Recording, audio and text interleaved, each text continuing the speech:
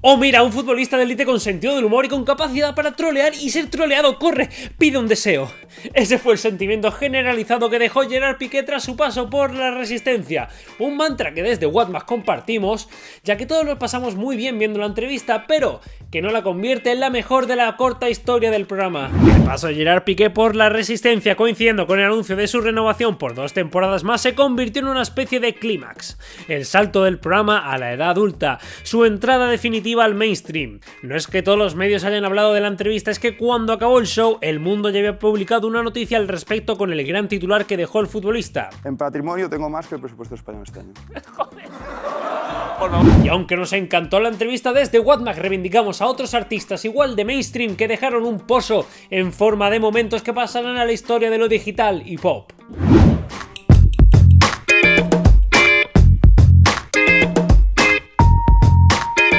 Que queda esta nueva sección con la entrevista por sorpresa de Joaquín Reyes, que coincidió en el tiempo con las críticas que recibió el manchego tras la gala de los Goya de 2018. Junto a Héctor de Miguel y David Broncano dejaron para la posteridad un bucle de ¿Pero qué? ¿Qué pasa? ¿Qué ha pachado? Ah, pero, oh, ¿qué, ha pachado? ¿Pero qué ha pachado? ¡Pero bueno, qué ha pachado! ¿Pero qué ha pachado, Joaquín? ¿Cuánto queda de cuánto queda de programa? ¿Cuánto queda, Ricardo? Minuto y medio. 30 segundos. No. No, pero que. No, en serio, Ricardo. Ahí hay un, hay un minuto y medio muy No, largo. hombre, no, pero Quiero que lo pasemos diciendo ¿qué ha pachado? ¿Pero qué ha pachado, ¡Pero bueno, qué ha pachado! ¡Pero yo no sé qué ha pachado! ¡No sé qué ha pachado! ¿Qué ha pachado? La banda que consiguió derribar las fronteras entre lo indie y lo mainstream derrochó buen rollo en su paso por la resistencia, representados en las figuras del cantante Pucho y el guitarrista Guille Gaimán. La banda y Broncano idearon el clímax cómico que tuvo lugar en el histórico concierto del Within Center. ¿Tenéis algo, ¿Vais a hacer algo especial? ¿Tenéis alguna movida prevista? Vente tú y hacemos algo. Si queréis que vaya. ¿Qué día es? 23 de junio. ¿De junio? Sí. Estoy aquí en Madrid. Sí. Es sábado además, ¿no curras? No tengo. Hostia, me tenéis. eh, parecéis, haci- parecéis Hacienda, ¿eh? Eh, Si queréis, puedo ir eh, con una careta de cerdo. Vale. Y paso por el escenario. Va- ¿Lo hacemos? ¿Lo hacemos? Si queréis que pase con una careta de cerdo. ¿En serio? Uf, pues ahí estaré. El siempre irónico y mordaz Javier Coronas ideó lo que hoy es la alternativa a la pregunta de cuánto dinero tienes, y es ¿cuánto has follado este mes? Si vas a renovar, yo te recomiendo Sí. que la pregunta no sea esa, que es, que es como fea, tío, eh, y no es tu estilo. Pregunta, por ejemplo, eh, en, en los últimos siete días, ¿cuántas veces has coitado? Coitado, no coitado de mirando al espejo, sino coitar... Sí, sí, mm, entre dos. Mirando una espalda o unos ojos, o sea... ¿Vale? Que pregunte por follar. Pre- Pregunta por follar, coño, que estamos en el siglo XXI. Pregunta. La gente no hay que valorarla por lo que tiene, sino por lo que folla. Siempre se agradece que un miembro famoso de la industria del entretenimiento se acerque a la resistencia con ganas de jugar. Pero es que además Blanca Suárez visitó el programa con su perrete pistacho, convirtiendo el show en Waku Waku. Hoy, en la Resistencia, eh, por primera vez, un perro que creo que no tiene ébola. Eh, pido un aplauso para. Se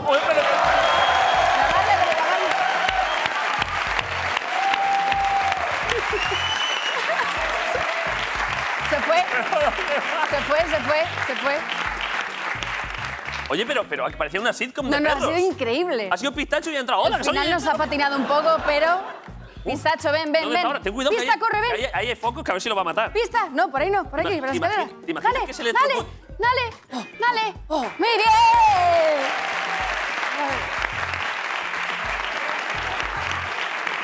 Pues, pues ya no hay entrevista, ¿eh? Bueno, pues nada, hasta luego. ¿Tien- ¿Tienes, ¿Tienes pelotas o movidas o, o cosas de perros? No, ya la lea, hoy se sienta con nosotros. ¿Esto qué es? Ah, la, la correa, vale, vale.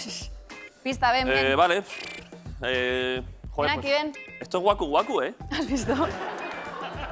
Hace ya tiempo que el ex vocalista del Canto del Loco abandonó esa imagen de niñato y canallita para convertirse en uno de los mejores entrevistados del mundo pop. Dani Martín derrochó sinceridad y se declaró un gran fan del programa. Decía que había borrado todos los canales y ahora solo veía ese. Además, gracias a esta entrevista, él y Broncano idearon el Jimmy Jam que ejecutaron en el hormiguero. Qué puta alegría me hace estar aquí. Eh, ¿En serio? A mí también, ¿eh?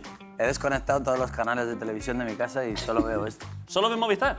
Solo veo eh, lo grabado, el demand, ¿no? El, el VOD. Efectivamente. ¿Solo ves VOD de la Resistencia? Sí. Eso está de puta madre. ¿eh? Eso te lo agradezco mucho porque eso luego me aparece a mí unos gráficos. Y Hazlo, hazlo un día, hazlo un día. Voy a Hazlo hacerlo. un día porque Pablo se le calienta mucho la boca. voy a hacerlo. Hazlo un día y le jodes el programa.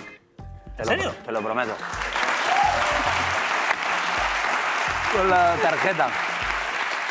Con 30 años de trayectoria, dos Goyas, una película con Francis Ford Coppola y otra que fue galardonada con el Oscar a Mejor Película de Habla No Inglesa, es muy satisfactorio comprobar que Maribel Verdú va a un late night con ganas de pasárselo bien. Y como bonus, no fue la resistencia sola, sino que lo hizo con Juana Costa y una fónica Paula Echevarría. Vale, vamos a ver. Chicas, gracias por Les estoy venir. dando la espalda, lo único, pero bueno. Uf, esto va a ser, esto va a ser muy complicado. Vamos a ver. ¿Estáis bien? Sí, muy bien. Eh, Juana, ¿tú tienes bien la voz? Yo la tengo bien. Vale, ¿podrías, eh, ¿puedes hacer un agudo muy agudo? Uf, no, no, no. ¿Cuál es? Yo es que soy bastante, eh, bastante ronca y mi voz es bastante grave. Lo Pero- del agudo... ¿No llegas? Sin embargo, Llego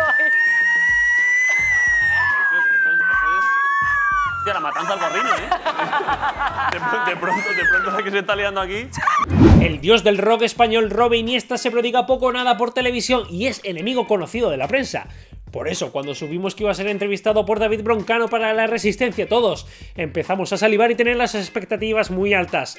El líder de Extremo Duro no defraudó y dejó una imagen mental histórica. Roberto Iniesta en su casa viendo la performance de Wismichu en directo. Eh, y me ha gustado, me has dicho una cosa muy graciosa, porque me ha encantado eh, que viste el otro día que, que lo, llevas viendo el programa unas cuantas semanas. Sí. Y me ha dicho que está guay, que tal, que tal, no sé qué. Y me ha gustado mucho que me dijiste que has visto la entrevista de Wismichu. Entonces yo imaginarme a Robin Iniesta en su casa viendo a Wismichu. Yo no sabía quién era. ya me imagino ya. Es precioso. Intenté ent- eh, entender la performance que, que hizo. ¿Y no, qué? La, no, la, no la entendí.